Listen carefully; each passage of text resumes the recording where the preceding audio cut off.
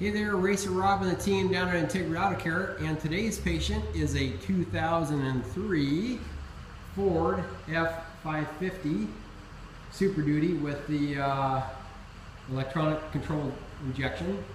Customer's complaint is a uh, rough idle, intermittent missing loss of power, and uh, I'm kind of going to give you another behind the scenes look at the cool technology and what it takes to, to fix today's vehicles and how uh, I consider a diagnosis vehicle that's sitting outside my bay by the wireless setup on my newest diagnostic piece of equipment, the Snap-on workstation with the Verus Pro. So even with all this technology, you got to stick with the basics. So let's dive right on in.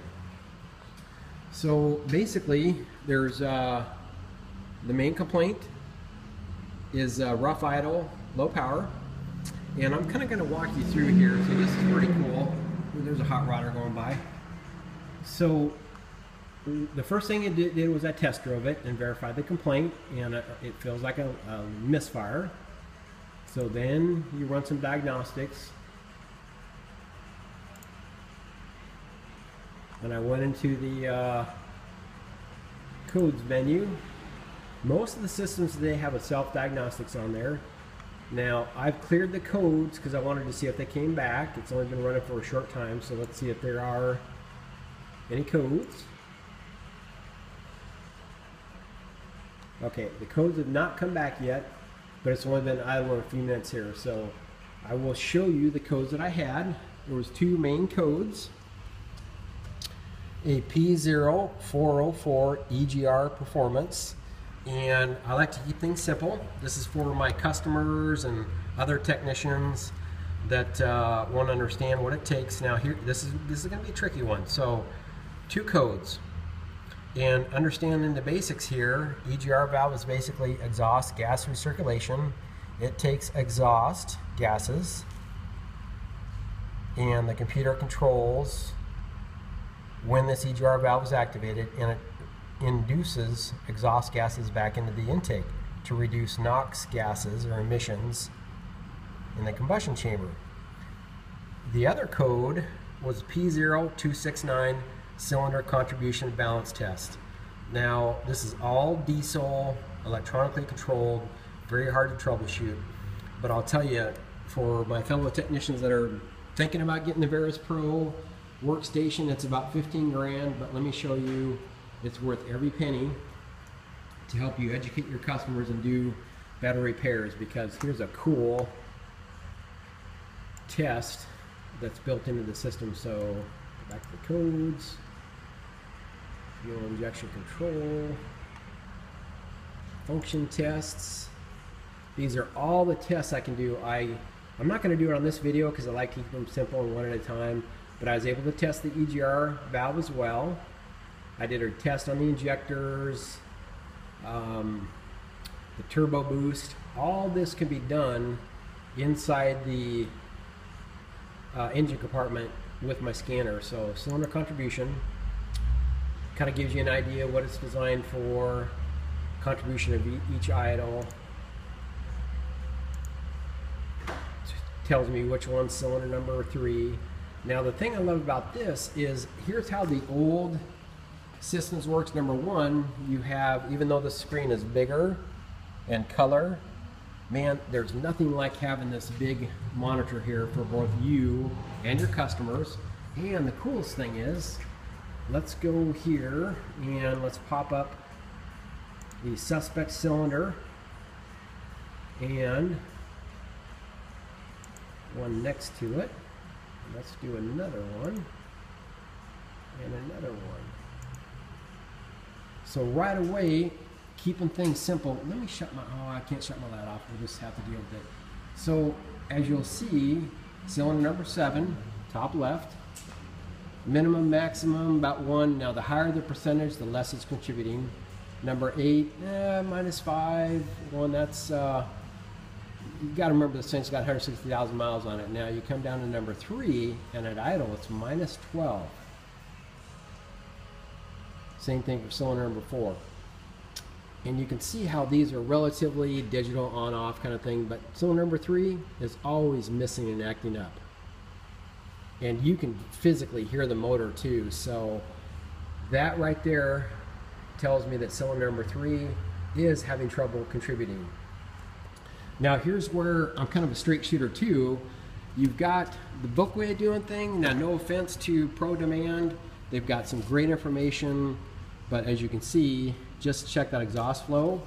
There are one, two, actually five pages of pretty in-depth, very time-consuming tests. And we all know with customers, price is always at the top of their mind in diagnostics. So I highly recommend that if you haven't already, technicians, do your reading, doing your studying on your own time at night because I'll tell you, even though you make the initial investment at night on your own time, your rewards will pay off in dividends with the information. These are two good books that I've used in the past to do this stuff. So try not to rely on just these. Use more of your experience um, and things like that because between the two of these, this is for the misfire and the EGR, man, that could take hours and hours. So here's the part I love, the condensed version of 35 plus years of experience. The very first thing I'm going to go after is the cylinder contribution injector issue. Uh, compression's good, no vacuum leaks, fuel pressure is good. All of the systems are good because it's only got one misfire. Now, if it had multiple misfires or other codes, I'd worry about fuel pressure, things like that, but it's only one cylinder and one injector, and these are known for injector problems. So I'm going to recommend that we do a cylinder, a, uh, injector replacement.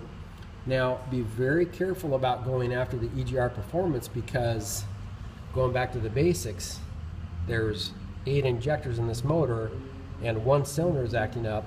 So this problem could be causing the EGR performance problem. That's how I'm going to sell it to the customer. You know, honestly, and they'll appreciate you for that to say, we're going to repair this one first. This problem could be causing this false code. Now it does have 160,000 miles on it. These EGR valves are known to get clogged up with carbon, things like that, because it's basically an exhaust flow. So our recommendation on this one is going to be the uh, injector replacement, and at the same time, I'm to have my awesome tech take off this EGR valve, check it to make sure it's clean and all the ports are good, and leave it at that and tell the customer, hey, we fixed this problem and um, this may or may not come back, but you're basically saving them money if it doesn't come back. Because I love to test, not guess.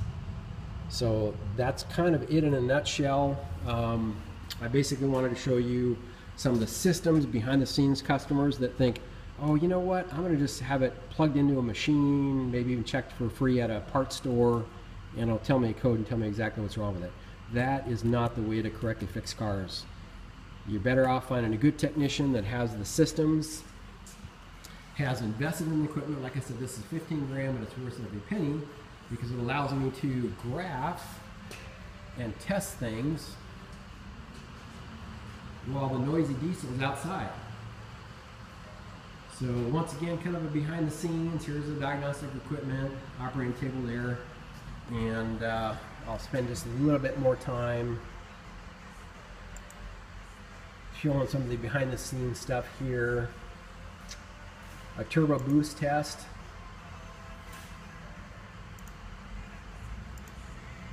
This also looks a little bit low. These turbos have been known to carbon up.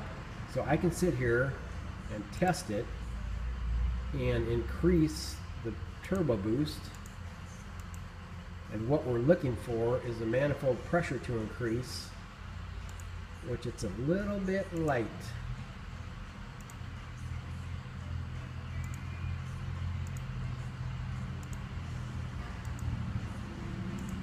Yeah, very suspect on that too because it's not even going up. But once again, we're going to go up to, there it is just a little bit. Probably rev it up too, that makes a difference. But that's just a quick example of another test that you can do. Control the fuel pump, injector buzz test, injector disable commands. things like that. But like I said, to keep this simple, spend about 10 minutes. That is an overall picture of what it takes to test the uh, rough idle on a 2003 Ford F550. And not to get confused by multiple codes. So we're going to fix this first, clean this out, and see where that takes us. So once again, Racer Rob Integrity Auto Care, showcasing the uh, Snap-on Verus Pro wireless scanner that basically you hook your there's my awesome technician. Hook your controller there that wirelessly contributes and uh, sends data to the scanner and I can sit there and use my operating table to fix cars. So that's pretty much it. Racer Rob Integrity Auto Care over and out. Until next time we're just going to keep fixing these crazy complex cars. Take care